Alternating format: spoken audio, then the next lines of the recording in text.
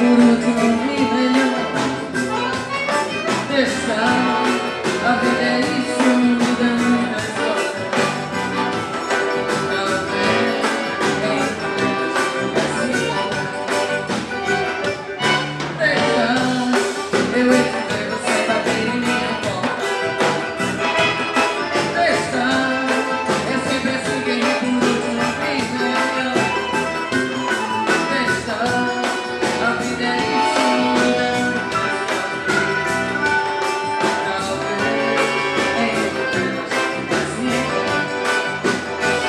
Yes, sir.